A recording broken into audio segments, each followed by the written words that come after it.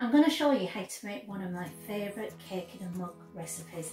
It's a double chocolate cake and I'm going to use my talking microwave that RNIB has developed. It's very easy this recipe, very simple to do and it's perfect for those moments when you're sitting there and you want comfort food and you want sweetness but you don't want to spend hours in the kitchen slaving over a hot stove.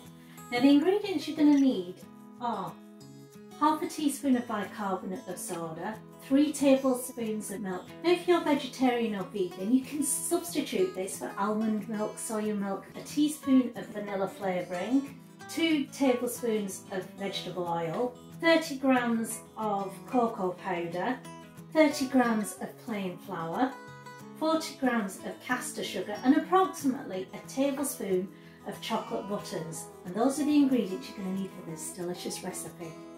Now I've got a set of kitchen talking kitchen scales which I've got from RNIB and it is amazing. Couldn't, couldn't live without this, especially for the amount of baking and cooking I do. So I am going to measure out 30 grams of cocoa powder.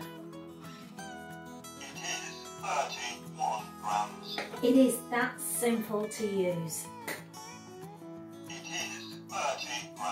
And what I'm going to do now is put half a teaspoon of baking uh, bicarbonate of soda, the three tablespoons of milk.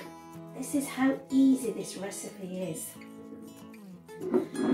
Approximately a teaspoon of your vanilla flavouring, two tablespoons of vegetable oil, put in your caster sugar, your plain flour,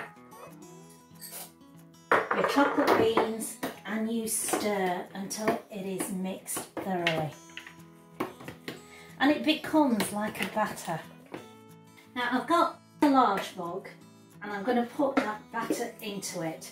Now the batter should be no higher than halfway up because it does rise quite a bit.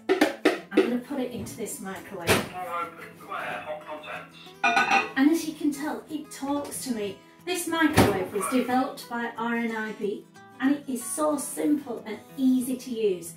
It's only got four buttons, three small ones in a row with a large one at the bottom. I go to the top one, which is embossed with one dot to put it onto minute, the one below for seconds, and then press the big button at the bottom to start it. It's that easy. Now I put on some other gloves because you've got to remember things coming out of the microwave are hot. So take out the mug and just feel the top of it. If it feels firm, it's done. It's spongy, it's light, and there's the best bit. The one that I have been waiting for, with literally within a couple of minutes, lovely, gooey chocolate cake. Oh wow. Mmm. That is seriously nice. And if you put it with a little bit of cream or ice cream, it is perfect. Visit me on Facebook at Kim Jaye Cooks or if you want to get the microwave, visit rnib.org.uk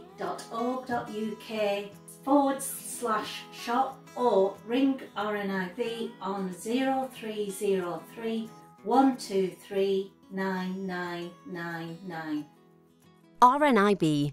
See differently.